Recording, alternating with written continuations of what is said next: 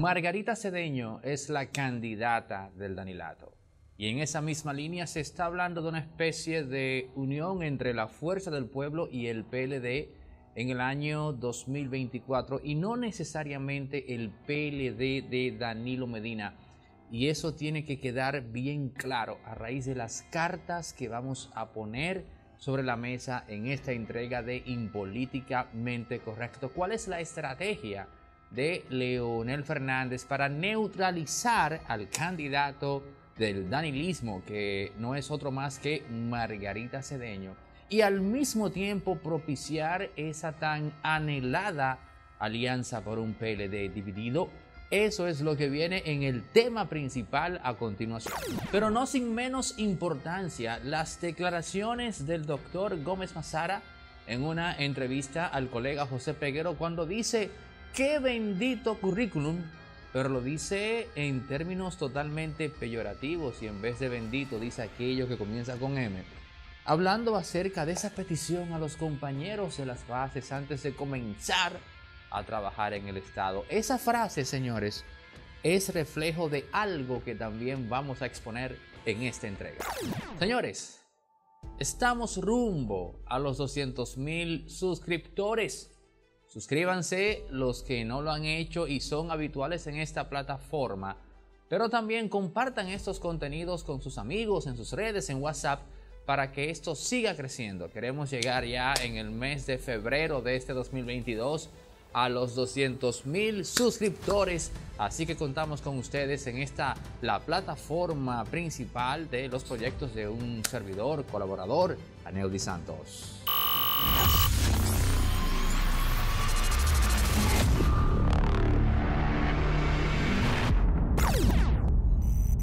Cuando hablamos de política, a pesar de que sabemos que en la política está involucrado lo económico, es increíble la ingenuidad con la cual el dominicano, eh, digamos que olvida eso.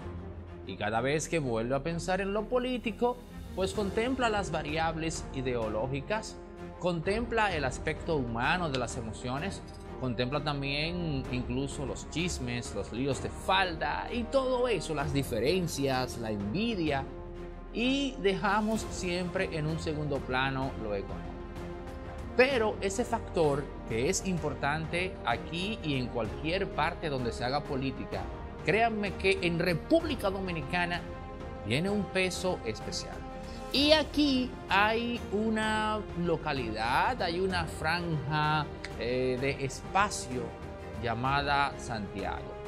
En donde, amén de que Fernando Peña me corrige y dice que no es tan preciso hablar de una localidad o de un espacio X para referirse al timón económico de República Dominicana, pero caramba, para nadie es un secreto que hoy día los más prósperos empresarios de nuestro país están en Santiago.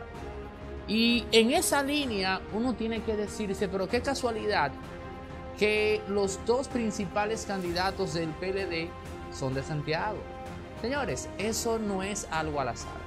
Ese partido, a pesar del obstáculo que tiene en las diferencias entre eh, Danilo Medina y otros, sabe perfectamente la importancia de contar con candidatos que sean de Santiago.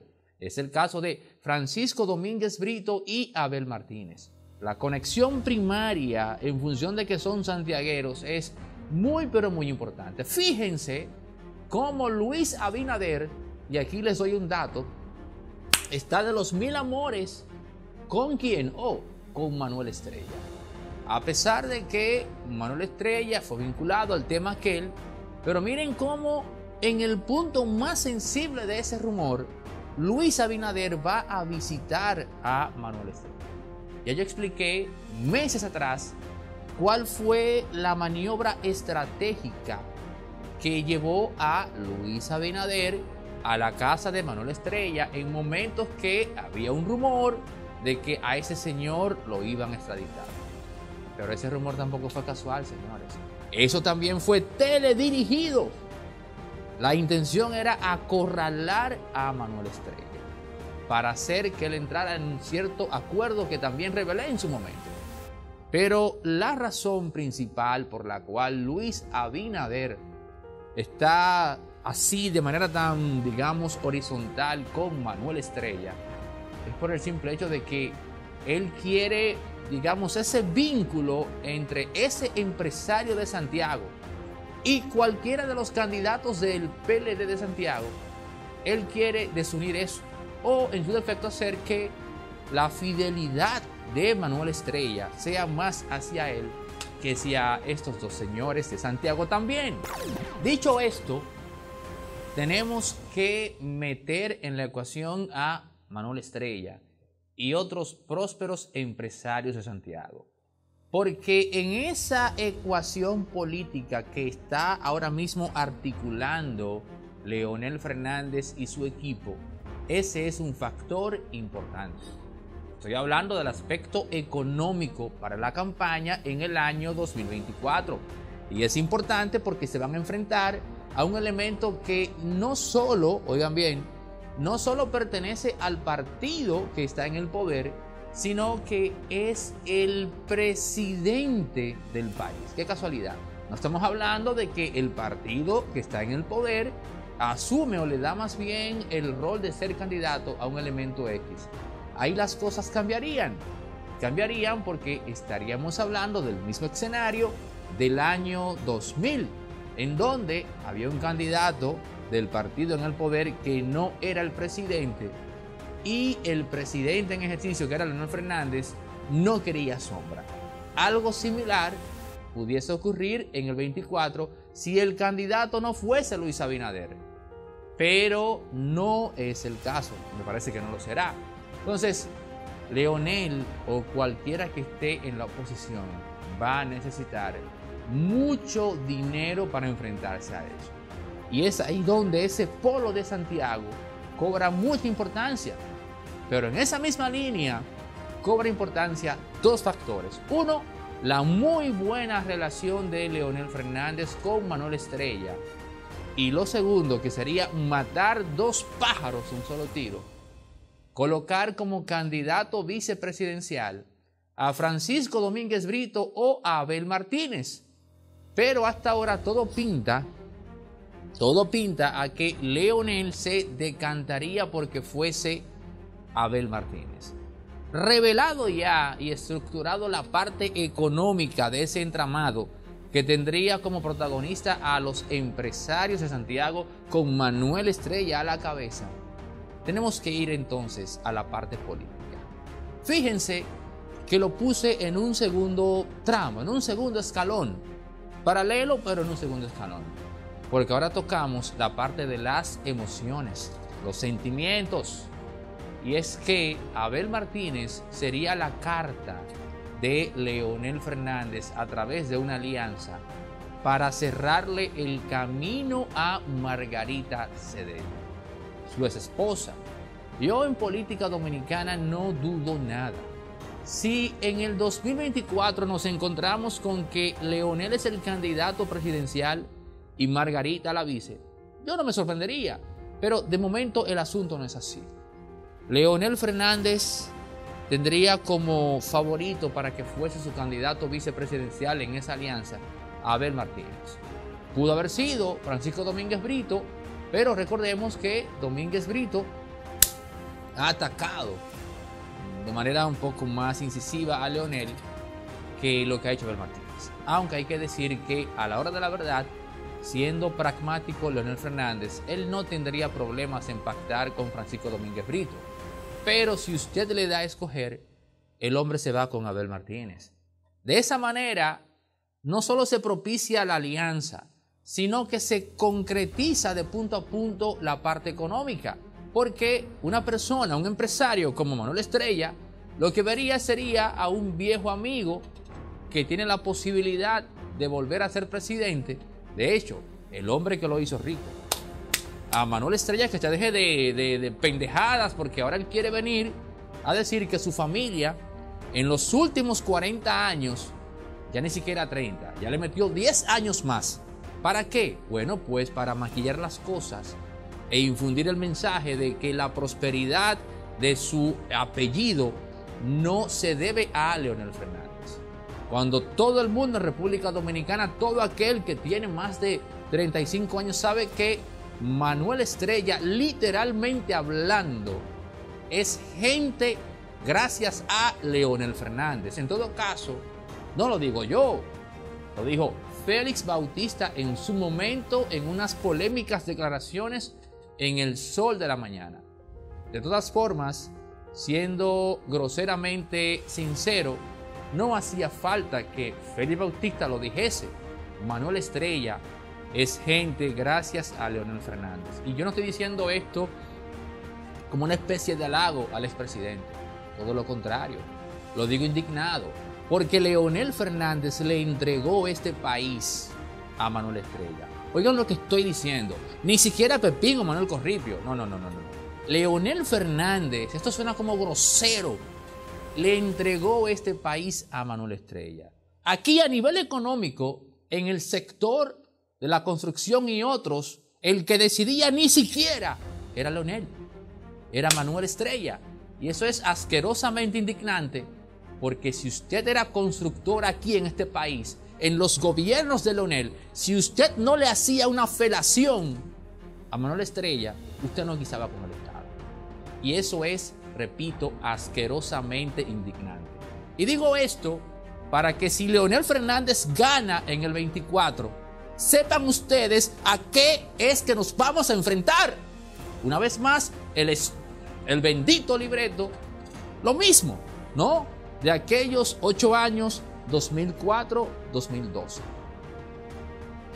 Seguimos. Decía yo que ya está concretizada la parte económica después de este desarrollo emocional histórico. Pero queda la parte política. A Leonel y su equipo le interesa neutralizar a Margarita. El binomio Leonel Abel sería perfecto para eso.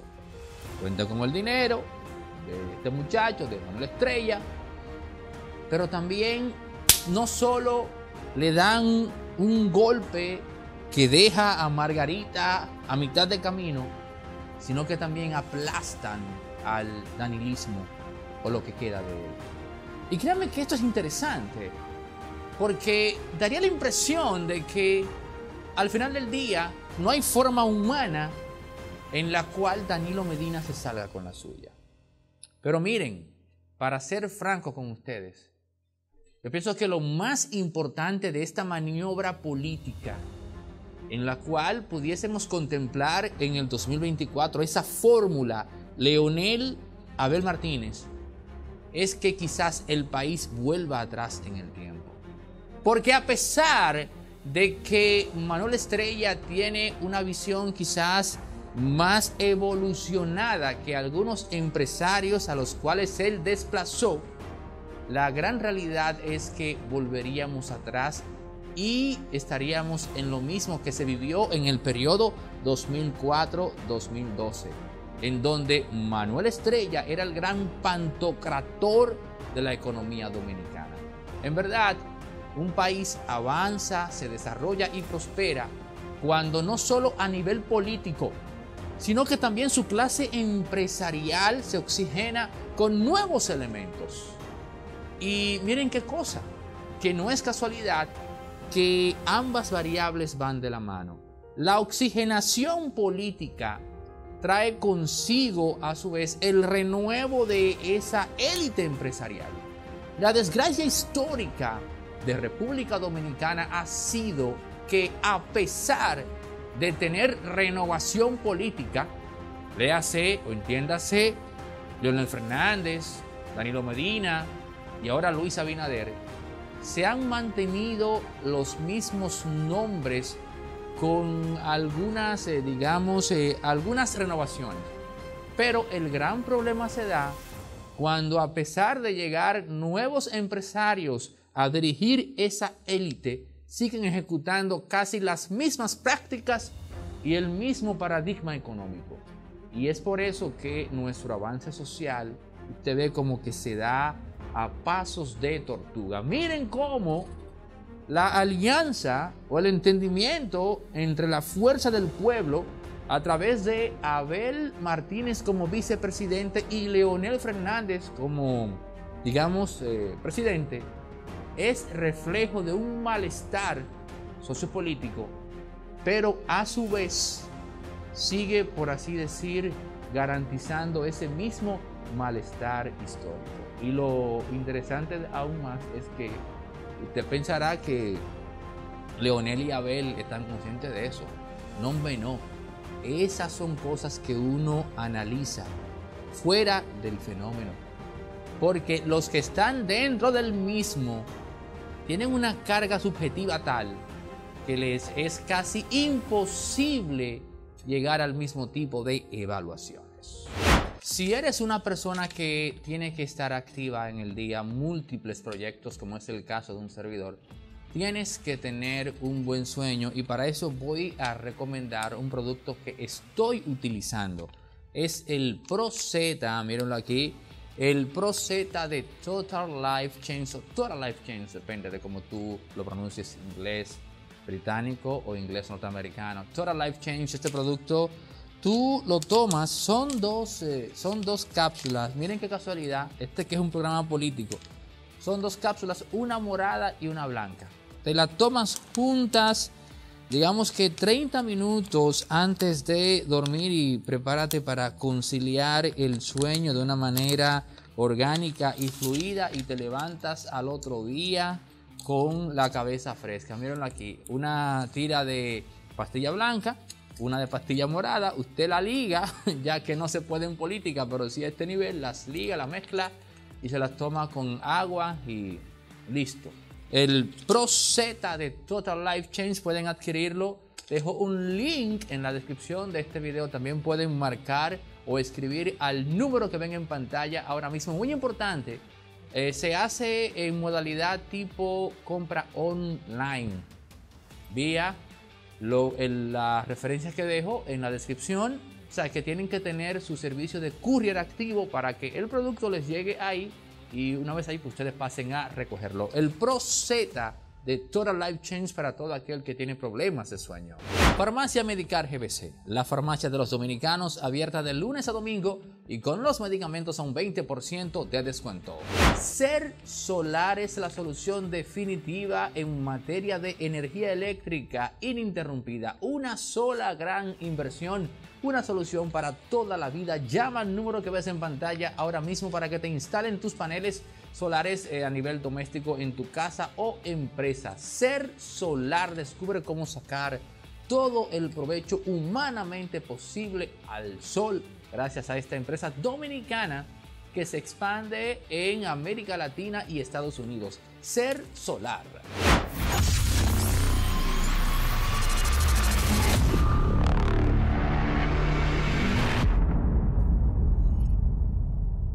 El doctor Gómez Mazara ha dicho una frase quizás innecesaria, pero que recoge el sentir de las bases del Partido Revolucionario Moderno. Quien les habla no es, digamos, eh, proclive a fomentar este tipo de cosas, de que bueno, no, que el partido que ganó, que las bases, que hay que ceder al Estado, bien, eso es una cosa. Ahora, la realidad es que parte de la política en República Dominicana conlleva eso. Y cuando usted tiene un candidato presidencial que vendió ese sueño y luego en efecto se convierte en presidente y ve que maneja el tema de una manera quizás tan, tan atropellada, porque a mí me llegó el informe de que Luis Abinader recientemente dijo en España no hay empleo pero antes de estuvo en Estados Unidos y dijo, no hay empleo. Y eso indignó a las bases en la diáspora, tanto en España como en Estados Unidos. Quizás no lo dice aquí porque él infiere que aquí lo van a grabar, no sé. Pero la realidad es que ese esquema que maneja Luis Abinader es más propio de un empresario que de un político. Porque si fuese un político, aunque no tuviese la intención de abrir el Estado, se hubiese manejado con otras palabras. Pero cuando él dice eso, o cuando se habla de que hay que filtrar a los compañeritos de la base que van al Estado, supuestamente para no propagar o replicar el mismo malestar aquel, filtrar a través de un currículum Y es ahí cuando el doctor Gómez Mazara dice, qué bendito currículum, pero lo dice de mala forma. En vez de bendito dice lo otro que comienza con M. Él, a su vez, está siendo más bien reflejo de una intención que es lo que en verdad me preocupa de cara al poder. Y no me preocupa por Luis Abinader. No me preocupa ni siquiera por el PRM. Me preocupa por el país. Porque ese partido es el que está en el timón del Estado ahora mismo. Y cualquier crisis al más alto nivel en el mismo nos va a perjudicar a todos. Oigan lo que estoy diciendo. Nos va a perjudicar como, como país la crisis del PRM. Y lo que estoy viendo ahora es que Gómez Mazara y Ramón Alburquerque están dispuestos a lo que sea. Algo así como cuando en un barrio hay un intercambio de palabras, eh, digamos, bien crispado, y una de las dos partes dice la palabra mágica o la frase mágica, a lo que tú quieras. Ahora mismo yo siento que la dupla, el binomio Ramón Alburquerque y el doctor Gómez Mazara le están diciendo al presidente, haz lo que tú quieras. Oigan bien, y yo voy a decir algo aquí, me voy a arriesgar, porque veo que nadie más en el espectro analítico de nuestro país está calculando eso o ha llegado a esa conclusión. Señores, miren, la reelección de Luis Abinader es un clavo pasado. Solo si se da un entendimiento con Gómez Mazara y con Ramón Alburquerque. ¿En qué, eh, ¿En qué términos? Yo no lo sé.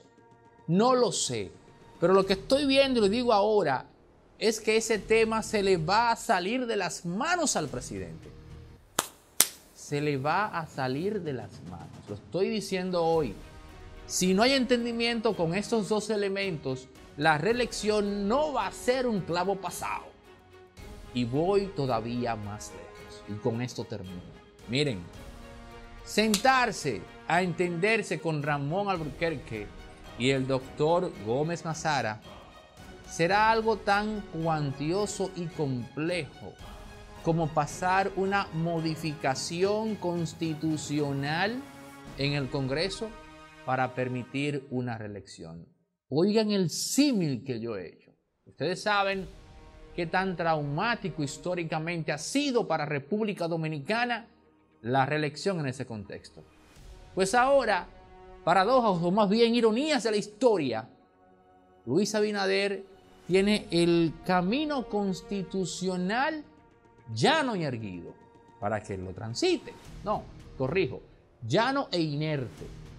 Llano e inerte para que él lo transite de manera tranquila.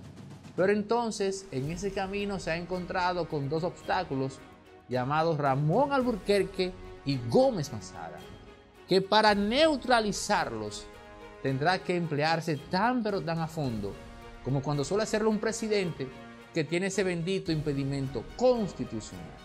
A ese nivel veo yo las cosas las diferencias actuales en el partido que está dirigiendo los timones de República Dominicana.